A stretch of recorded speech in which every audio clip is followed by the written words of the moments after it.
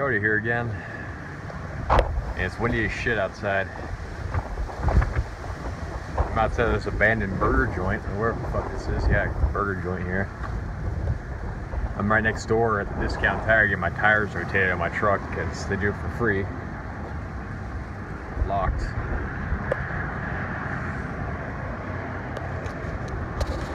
This is open for a very short time before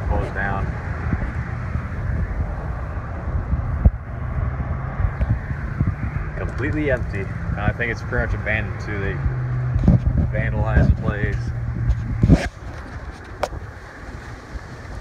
It's got the open hanging. Kind of like a cool place, but I don't know. Never tried it. They got graffiti all over it. And out front, there's Mercedes-Benz E320.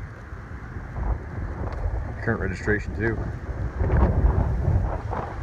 So I don't think this place is completely abandoned. I think there's someone here, but oh, there's my truck. They're already at. They're already at it.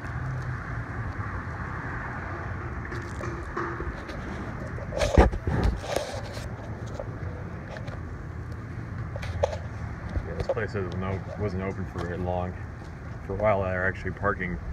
The guys at Discount Tire are actually parking their cars at this place because you know nobody has them. Yep, that's what happens. Goes out of business.